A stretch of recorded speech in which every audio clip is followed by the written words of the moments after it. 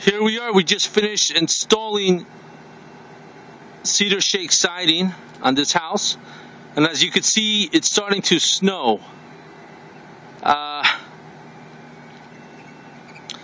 we just finished this wall just in time. Totally completed it before the snow fell. And uh, we cleaned up below also.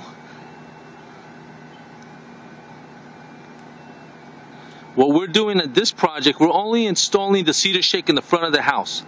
The homeowner does not want to take off the siding from the sides and the back because it's not always necessary and it's still in decent shape. They just want to make sure the front is looking, um, they want to showcase appeal. Uh, what we did is we tore off, they had old vinyl cedar shakes we had to tear that off, but that's it. There was some other exterior, but it wasn't necessary. So um, it's not always necessary to tear off all the exterior from the house. Okay. So if you want an estimate for uh, for roofing, siding, additions, we do all types. We work all over the northern and central New Jersey, and uh, other parts of New Jersey also. Uh, just give us a call at 973 487 3704.